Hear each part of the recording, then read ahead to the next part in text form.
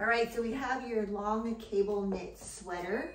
This sweater comes in a variety of colors and I'm about 5'4", 125 pounds. This is a size small, but you can see it kind of goes to my palms, which I like. So it's nice, the sleeves are nice and long to cover my hands when I'm cold. You can also roll them up if you want.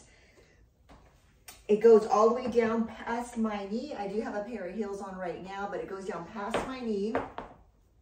There is a nice hemline around the neck area, as you can see. The knitting is very well done. I actually just hung it just to see how it would hang on a hanger, and it kept its shape very well. It has nice big pockets on the side right here.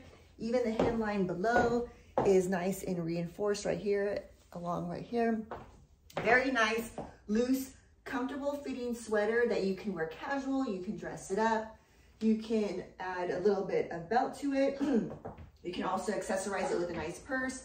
And let me show you the back of it right here. This is the back of it as well. You can kind of look at the details, but very nice long lane sweater for your fall and winter and cold nights.